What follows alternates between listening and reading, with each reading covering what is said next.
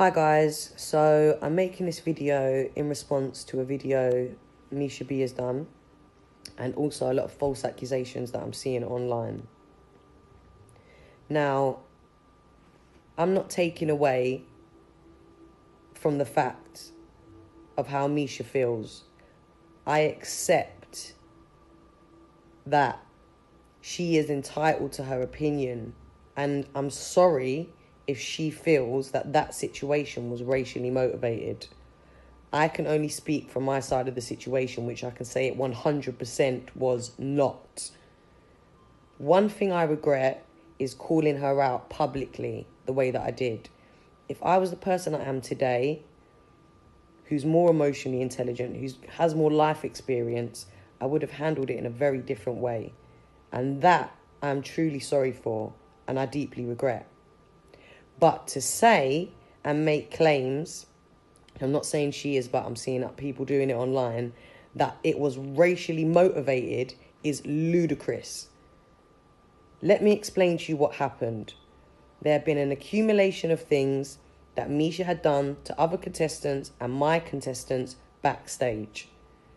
She had made two of my acts cry, one of them being on the night that I made those comments afterwards, backstage, she asked me, Why did you do that? And I said, Why did you do what you did to my act? To this day, I didn't find her excuse feasible. I still don't agree with it. I called a lot of people out on that show. White, black, tall, short, it's nothing to do with skin colour. I was protecting my acts.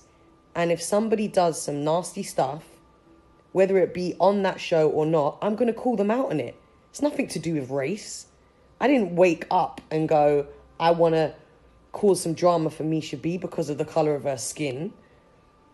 She did some things that I felt I needed to pull her up on. These things were real and they were happening. I was dealing with crying contestants backstage because of her actions.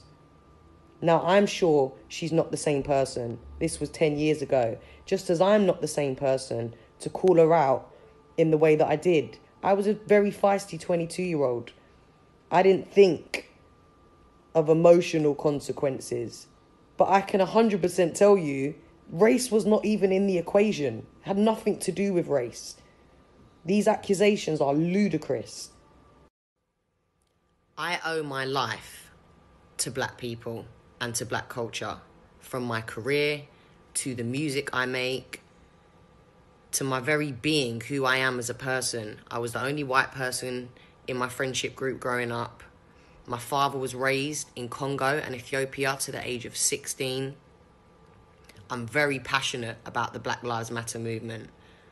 And when I spoke to my friends about what they think I should do, they told me to get educated so that's what I'm currently doing before I start speaking up and doing what I can.